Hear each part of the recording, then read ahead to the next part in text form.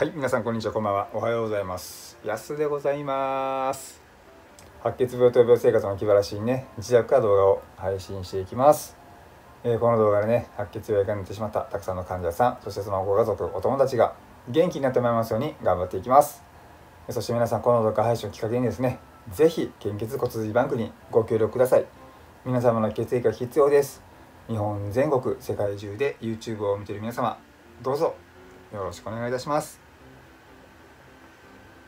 はい。あのね5キロ太りました。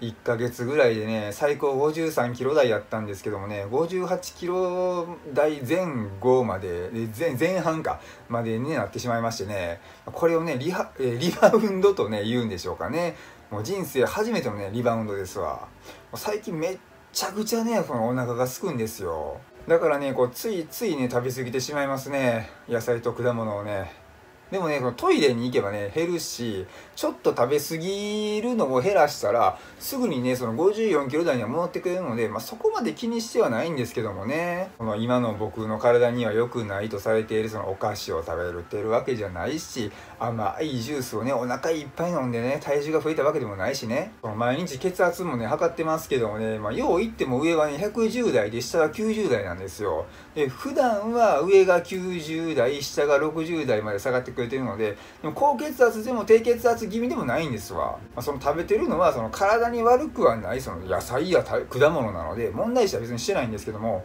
僕はねその重大なミスにね気づいてしまいました。あのね良いとされてる食材の栄養もね結局食べ過ぎたら太る。こういうことなんですよ。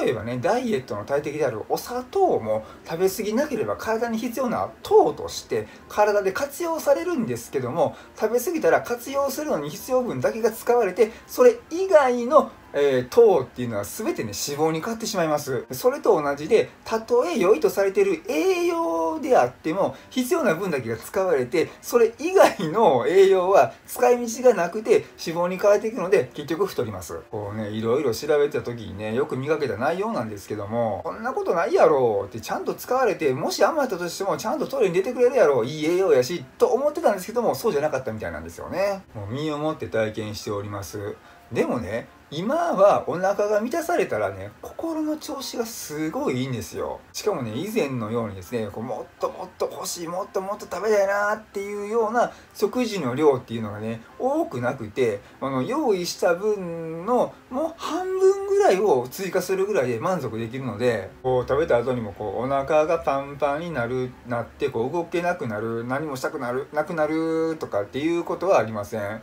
でもまあインスリンもね出てるのかしてちゃんと眠たくはなるし体はちゃんと機能しております。でもまあ太るということはね、まあ、そのインスリンがね追いつかなくなってるから余分な栄養がね取り残されていくんですけど体中にね。それではよくありませんのであの行き過ぎる前にねなんとかセーブしてもうちょっと体重をね見直していきます。骨髄食の副作用を抑えるためにね僕免疫抑制剤を飲んでるからね。余計に太りやすくなってますのでね本当にね気をつけます。ちなみにねその免疫抑制剤をね飲んでますとですねこれはもう何回もね過去に言ったことあるんですけどもメタボリックシンドロームになる